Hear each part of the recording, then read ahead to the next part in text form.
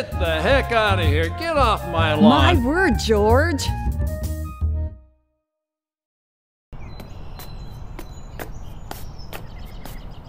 Do you remember meeting me? Yes. Uh, Do you remember being at Keith O'Brien's, the, the department store? No, I remember seeing you, and that you scared me so much. Now you I got to cried. think. You didn't cry. Now, when, what, where did I meet you? You met me at Keith O'Brien's. That's where we first met. Because I told you I wouldn't go out with you unless I saw you first. Yeah, but then I thought you were a girl. When you called me up on the telephone, your voice is high. Then I thought you were a girl. So hmm. I, I wanted to meet you first before you took me well, out. I thought you was a boy because your vo- voice My was so- voice was lower. yeah, that's true. So, But we got along. so you came to meet me at Keith O'Brien's.